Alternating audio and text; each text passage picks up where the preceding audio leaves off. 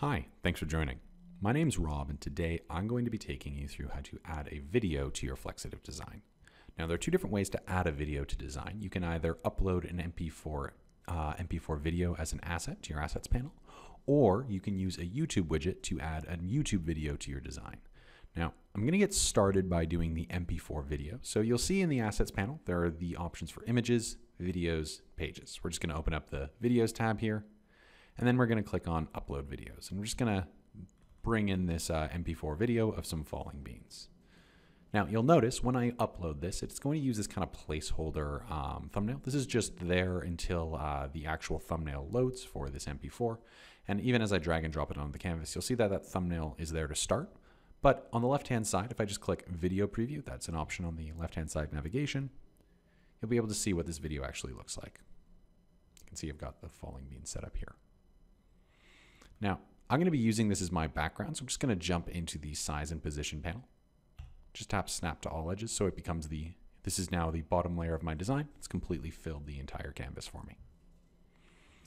Now, my plan with this design is to use it for digital signage. So I'm going to want to set up my video accordingly. So I'm just going to jump into my video settings panel again. And you'll see that there's these controls options here. And these are to make it so that you can uh, kind of adjust how this video is displayed to kind of match your needs. So like I said, this is for digital signage. So by default, I want these controls to be off. Um, generally, you don't want people to be able to interact with the design for digital signage, so they'll just be off to start. Similarly, I want the video to keep playing, so we'll leave loop on and we'll leave autoplay on uh, because I do want this design to start showing the instant I press play. Final setting in this in uh, this area is the sound option, which is off by default. Now, for this design, this is going to vary from uh, case to case on digital signage, but in this particular case, I do want it off.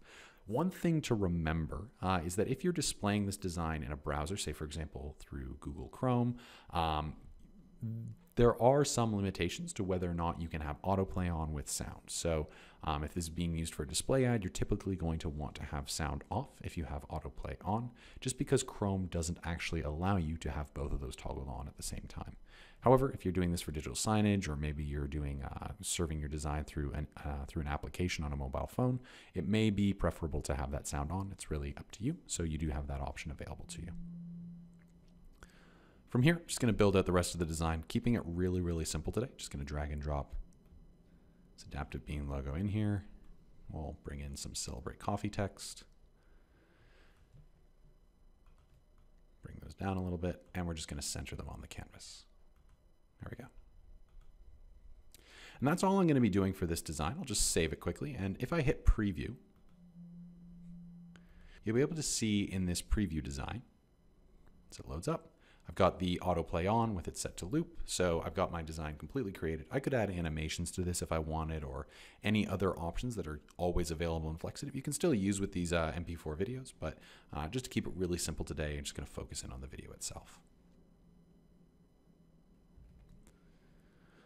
So from here, I'm actually going to uh, transition over to using a YouTube video. So I'm going to use the same design, just going to make a couple quick edits. So First thing I'm going to do, just swap out this video, make it a simple static image as the background.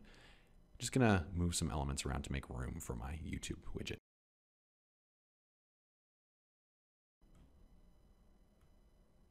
There we go. And from here, going to I'm going to add the YouTube widget by jumping into the widgets panel on the left-hand side. Just click on that, and you'll see the option for this YouTube widget under videos. And if I click on that, it's going to add a blank container to the canvas. And you can see a whole bunch of settings are available to you in here, but there's also this section right here that says paste YouTube link here with a little blue arrow. Now, this is where we're actually going to put the URL in for the video that we want to display. So if I'm just going to alt tab over to this Chrome browser here, I've got a YouTube video already loaded up that I'm going to be using here. So I'm just going to copy and paste the URL into that field and hit the blue arrow. And that's going to bring that video into the container for me. Now I'm going to want to set this uh, container up so that it matches the aspect ratio of the video that I'm using. So we'll just quickly adjust that like so. And then as per usual, you can always change the, uh, the settings with a YouTube video the same way you could do with an MP4, but also with a couple more options. So Standard options that were available before are still in there. I'm actually going to have autoplay off with sound on in this case. This might be a uh, interactive digital signage display where someone might choose to play the video, but it won't always be playing. You can also set this uh, video to show info, which will give the user a little bit more information on what the video is, allow them to full screen the design if they'd like. Uh, you can also set up modest branding. Um, with modest branding, you would have a YouTube logo that just sits in the bottom uh, right hand corner of the uh, screen, just a little watermark to indicate that it is a YouTube video. It will disappear after a couple seconds, though. And then you can set it to play in line or even show related videos if you'd like. One final setting, this is unique to um, YouTube videos, is you can actually set a start time and an end time for your video, uh, allowing you to really pick and choose what parts of the video you want to see. So we'll just show the entire video for now and just use the default settings. But again, if I save this design and go to preview it, you'll see the video is now in place. And if I press play, it's going to play for me. And that's everything I was looking to cover regarding videos today. If you do have any other questions, please feel free to shoot us a message. Best way to get in touch is with this contact support widget at the top of the screen. But until next time, thank you so much for joining and hope you have a great day.